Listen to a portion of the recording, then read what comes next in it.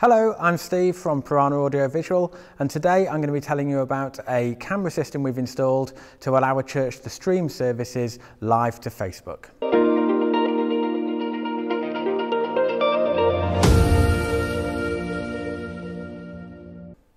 I'm here in Kidsgrove, Staffordshire, and we were approached by the vicar a, a, few weeks ago and asked if we could provide a solution where they could stream services during the COVID pandemic and beyond live to their Facebook page. To do that, we've installed a couple of moving cameras that they have control of from their control booth at the back, a vision mixer and a way of monitoring the cameras and monitoring the feed out to Facebook. One of the provisions we needed to, to make was to ensure the cameras were as hidden as they could be. And you may well have not detected it, but above my head is a camera that was painted to blend in as best we could with the uh, fabric of the building and to blend into this beautiful wooden structure that we have here in the church um, at the front of the balcony. I'll now take you back to the control booth and we'll show you what we've installed and how it integrates with the audio system they already had in the church. So to operate the Vision Mixer and to decide what camera is going out on our live stream, it's as simple as pressing the buttons here. The red button is showing us which camera is live at the moment, which is camera one, as shown here, and you can see duplicated on our live stream.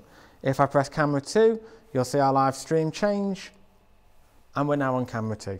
It's as simple as that. We select the camera we want. If I want to project the words from the computer, these come in here uh, in the third position, third button, and we go live with the computer. In terms of operating the cameras, we generally use camera one as a fixed camera and camera two in this setup is our moving camera. I'll go live with camera two just so you can see a slightly bigger picture here. But when we're using the uh, camera controls, we use this keypad here and we've preset the camera views that they've asked for.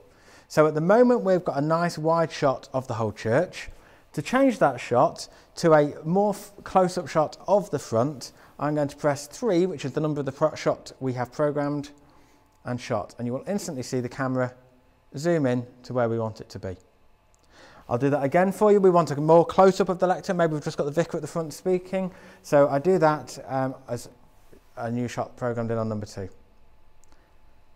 And just for example, on this situation, they have a full band in the church. If we wanted a shot of the band, we can change that by pressing a button again, and very quickly, the camera moves to the new position. Now, as part of our workflow, if we're actually streaming, what we'd probably do is actually start off with one shot.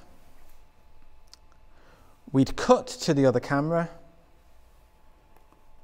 adjust the shot on the first camera, and then cut back. And that would give the viewers at home a really seamless, beautiful shot where they move from one camera to the other without seeing the movement of the camera itself.